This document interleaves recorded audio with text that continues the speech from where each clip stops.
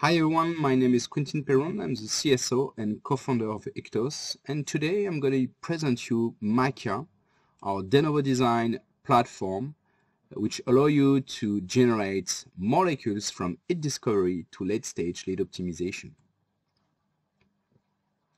In a few words, Ictos is a startup company based uh, in Paris. We have more than 50 employees and we are developing solutions for organic chemistry, medicinal chemistry, agrochemical chemistry. So basically, we are developing two main technology, deep generative models to generate new molecules, small molecules, peptides, and also another technology, data-driven retrosynthesis technology. We have applied those technology on many projects, many content, contexts, and we have encapsulated all our knowledge along those years into those two main softwares, but today the topic is de novo design through Makia. So basically, uh, Makia allow you to design new organic molecules in any situation, at any stage, from hit discovery to late stage lead optimization. What do you have inside Makia? Basically, you have first um, a page where you can upload dataset, as file, CSV file. Basically, it's matrix containing molecules and activities. Based on this data, you can build QSAR models. So we have an automatic uh, models which allow to build automatically very high quality QSAR models. Then uh, once you have built your models, you want to generate optimal molecules. So for that, we have designed four main generative AI technology, and I will go through it, but basically you have the growing optimizer, linking optimizer, novelty generator, and the fine-tuning generator. On top of that, you can uh, plug to Makia any type of fitness uh, functions like docking, uh, similarity to uh, massive chemical space through SpaceMax, uh, or your in-house generic models, for instance. And finally, we have Spaya, which is encapsulated inside Makia to perform the retrosynthesis of the generated compounds. Thanks to this stack of technology, you're able to easily design optimal molecules easy to make. Makia is available through two interfaces, either PyMakia for um, um, usually computational chemist uh, who likes to code um, and developed models inside their uh, pipeline, or uh, with a GUI for medicinal chemists you know, to easily set up a generative AI without any knowledge of codes, but simply by clicking on some very uh, nice and easy to understand button and options. Makia is deployed on AWS and in less than a week uh, we can uh, develop uh, the platform on your infrastructures. Um, it's auto-scalable, so this is something very important because it allow you to uh, have uh, to reduce drastically the cost of the GPU and CPU because if you are not using the compute, uh, you are not charged for that. And also, as I explained, uh, we have developed uh, an API gateway to take advantage of your in-house score in a very secured uh, fashion. So, um, as I said, Makia has been developed uh, thanks to many projects and, and uh, use cases we have encountered uh, during the last five years at Ictos. And one of the first classical use case is to take a reference compound and to change the central core. Several ways to do that inside Makia. Either you want to keep some key intermediates you have on the shelf. Let's say that you want to perform a reaction in this position starting from this alcohol and you want to introduce a building block starting from this aromatic amine. You can do that by defining the exit vector and looking for commercial building blocks which going to react on those two exit vectors. Another way to do that is say, okay, I don't care about the chemistry which to be involved in this reaction. I just want to keep these substructures and these substructures. Both ways of possible. The first way is through the linking optimizer. So you have your two intermediates and the algorithm will try to find a good building blocks uh, which is commercially available in order to maximize a given fixed fitness function, QSAR models, docking score, whatever. This can be used to perform lead optimization or scaffolding. As you can see, I can generate very similar compounds like this one, which is quite similar to this one, or quite different and diverse structures which are totally different from my input molecules. The only similar uh, branch uh, are the external one, which are the one which has been defined as intermediate. So you rapidly understand that thanks to that we can do late optimization or scaffolding. Another generative AI covering the same use case, still I want to generate something new. I don't, I'm not, uh, I don't want to define any starting points.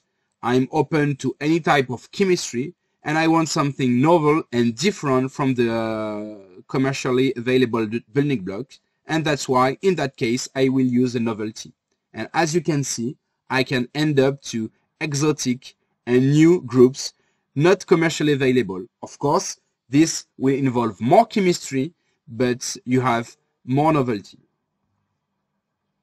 Finally, you have the fine-tuning where uh, this is an algorithm which allow you to stay very, very close to the initial structures and to perform tiny modification in order to optimize a high number of parameters still staying in the same chemical space. And as you can see here, uh, we have what we call the nitrogen dense. So basically that nitrogens uh, change some places. You have some chain elongation, nitrogen's replacements by sulfur, oxygen, etc. But as you can see, we stay very close to our reference compounds. Another very interesting use case is I want to modify an external branches, keeping the rest of the molecule fixed. Again, same ideas. Either uh, this is um, this is uh, produced by a given intermediate and a given exit vector, or uh, I fix the substructures and then the algorithm can put anything in that position. Again, to uh, perform the first use case, I will use the growing optimizer I have my exit vector, my intermediate, and I will try to find commercial building blocks which can react in such position. And as you can see, I can have very similar ideas or very different one depending on what is commercially available. And again, this is directed by a fitness function. Either you can use a Tanimoto similarity or QSAR models or docking score without Tanimoto similarity to find something different it's really up to you. The novelty, to find something different but not necessarily commercially available, so you can create completely new ideas from scratch. And finally, the fine-tuning to stay very close to my reference compounds. And as you can see, keeping the same ideas, the same spirit. Another very interesting use case is to start from scratch. So I want to generate new ideas. I don't have any ideas of the starting point. I don't have any ideas of the exit vector. And for that, I will use the multi-step forward generative AI. So this algorithm takes a fitness function, QSAR models, docking, score, docking score, whatever, and it picked randomly a starting point randomly define an exit vector, randomly define another starting point, make the reaction happen, and it can do that on several reaction steps. Then the generated compound is scored, and based on the results, the algorithm will take decision to take a most promising starting point, a most promising exit vector, and another commercial starting point in order to maximize the fitness functions.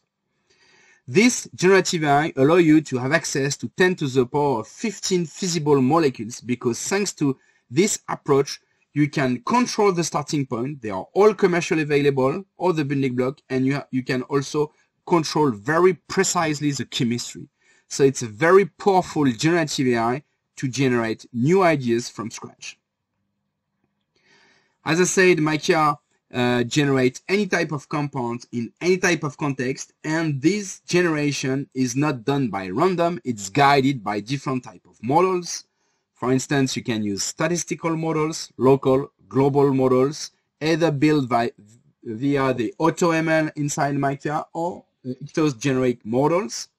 It can also driven by 3D models, docking, shape, pharmacophore, electrostatic similarity, or with your preferred 3D models uh, you have developed in-house via an API.